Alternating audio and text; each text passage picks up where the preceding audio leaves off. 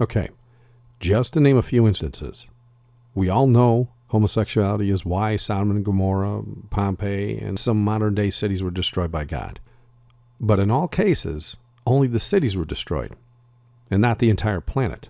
However, some evidence has been unearthed recently that suggests the Babylonian Talmud contains statements by the ancient rabbis that declares the reason God destroyed the entire planet in Noah's day was not only because of the evil ways of mankind, but because of homosexuality, wherein men were given in marriage to other men, and that is why the entire world was destroyed.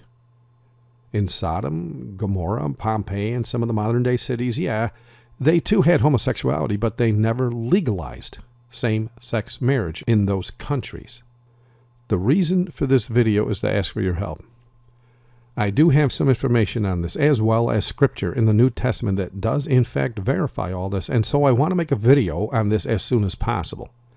If any of you have any valid sources or an actual copy of the Babylonian Talmud that contains these statements, please contact this ministry as soon as possible. Now, notice this as well. As we know, the Lord placed a rainbow in the sky to remind the people of the world that he would not use a flood to destroy the planet again. And yes, we already know, thanks to Christian prophecy, that he's going to use fire this time.